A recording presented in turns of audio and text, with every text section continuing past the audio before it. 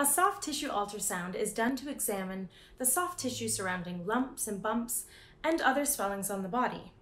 Ultrasound can determine whether the lumps are cystic, fluid filled, or solid. Who is suitable for a soft tissue ultrasound scan? This procedure may be requested for those who have lumps, enlarged lymph nodes, infections, hematomas, masses, inflammation, cysts, abscesses, cancerous tumors, hernias, lipoma, and ganglion. A simple soft tissue ultrasound scan is performed to help detect, assess, and diagnose what type of lump is present.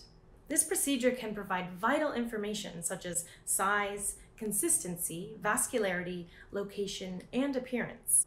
These are important details that will be used for a diagnosis. An ultrasound may be requested to assess a lump or bump that may not have been covered in other tests.